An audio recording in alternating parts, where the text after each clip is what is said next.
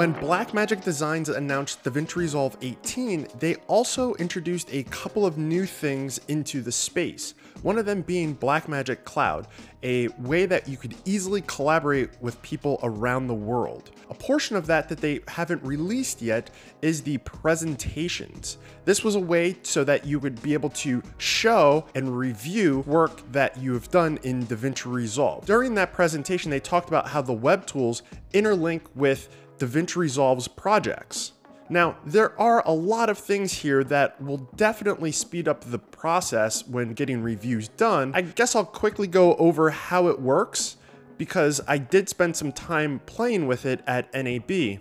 For those that were actually at NAB that were able to pick me out of the tons of people that were also wearing masks. Hello, and it was nice meeting all of you. Let's go into the things that I experienced, what was announced, as well as things that I would like to see I also want to get your feedback on tools and tool sets that you would like to see this integration come uh, outside of the ones that I talk about today. Because I think the ones I talk about today are things that a lot of other people are also going to be interested in, hopefully seeing them come to life. So the idea here is that we would go over to the Blackmagic website and there's the DaVinci Resolve page. We have the little login. Once we log in, we get to this page. So currently, we only have the ability to do the project server and settings for like billing and stuff like that. But here soon, once it's out of private beta, we'll have access to the presentations mode. Once this goes live, I think that we'll also be seeing a update of DaVinci Resolve because a part of how presentations works in the integration is being able to export directly out of DaVinci Resolve into presentations. That then makes a link when we do anything in presentations, we will see it in the DaVinci Resolve project. So the idea is we upload it, we get to this interface here. We have the ability to invite people in we can talk about it in a live setting, get some feedback, as well as if maybe someone's not there with you or you just want to write the comment in, depending on where your playhead is, uh, when you write the comment in, those will then show up in DaVinci Resolve. There's a couple of other features here where we can turn on our mics and cameras. We can also hit play and there's linked or synced playback as well. So when we hit play, everyone else's is playing at the same time. So we're all watching the same thing. That is what was announced so I think that kind of gives you an idea of how presentations works. We can easily send this to someone, have them take a look at it. If they have some comments, they write them in at the specific time codes. Then as an editor, when we go back into DaVinci Resolve, we'll see those, or a colorist, you'll see those. Um, so what are the things that currently aren't implemented into presentations that I would like to see? I actually have a, a bit of a list here, so we'll just work our way down.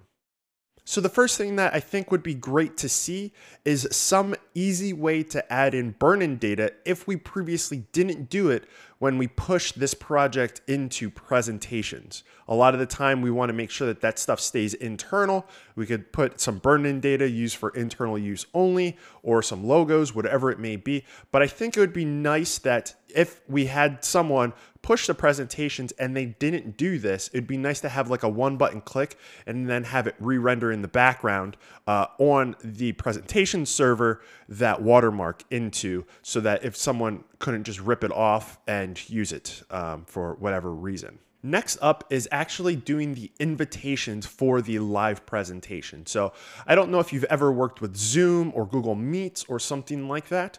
Uh, we can we have the ability to broadcast an invitation to a list of people. It would be cool if this allowed that auto broadcast to happen. Then it would say a time so you could schedule it.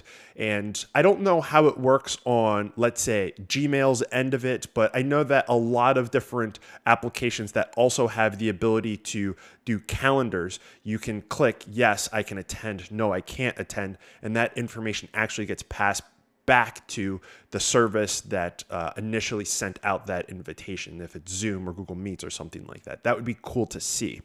Additionally, uh, if we are doing a live presentation is and it's with a bunch of people, it would be cool to have something like a Google Meets or a Zoom where uh, everyone is just sitting in a waiting room. They currently can't see anything, having it more of a live interaction instead of an on demand. They can just get a link and then automatically go in. So I think that would be really cool to see. And there wasn't a huge talk about how the live aspect outside of just having webcams and microphones and a chat window. Um, there wasn't much on how the live aspect of it was. So that would be really cool to see. As far as markers, I think that the markers that are imported into DaVinci Resolve from presentation should look completely different, and there should be an option to filter to show presentation or just project markers. I think that the ability to turn them on and off would definitely be beneficial, especially if someone is working in the project and they don't need to know about those markers, having those markers on off so that their uh, playhead doesn't snap to them. It would be really cool to see a mark as done. So maybe there's a visual representation of a completed marker. Maybe it doesn't, you can't snap your playhead to it anymore, or the marker just loses its color but keeps the outline. Something that nature would be really cool. The only other thing that I could think of is some level of version control for the presentation markers. So if we go to a presentation for the whole timeline, maybe we can click on presentation one and maybe its name. And then if there's a revision, I think that being able to host another presentation, have all those markers come in, they all should be filterable uh, differently, even though that's on the same timeline.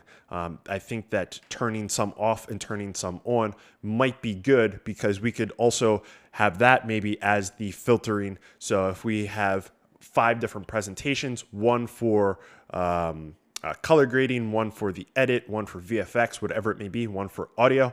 Uh, maybe just being able to click for the VFX or whatever you named it for the presentations.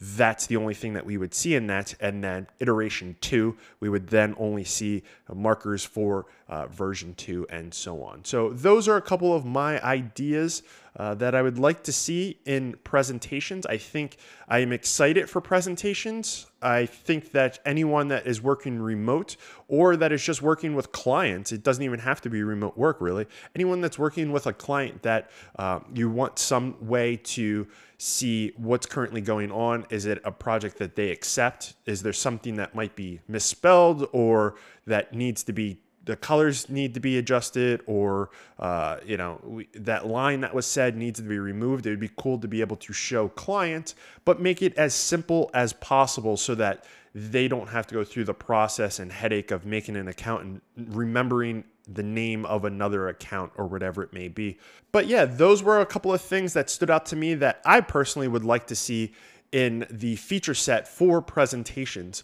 Like I said, I want this to be a conversation. Let me know in the comments if there's anything that you would also like to see and maybe we can see a better and more full featured tool set for this new tool that hopefully is out of beta soon. Uh, outside of that, if you are using DaVinci Resolve and you want to know more about DaVinci Resolve or learn more, uh, with DaVinci Resolve. I have a whole website with a ton of different courses about DaVinci Resolve. If you want some pre-made assets, I also have those. Or if you're looking to uh, learn DaVinci Resolve, but you want a one-on-one sort of thing, I also offer that as well. Links in the description to my websites, but let me know in the comments, like I was saying, I'm really interested if anyone else has any uh, other portions of this tool set that they would like to see implemented that would, you know, make their life a little easier. But with that being said, my name's JR. Thank you so much for watching. Till the next one. Peace.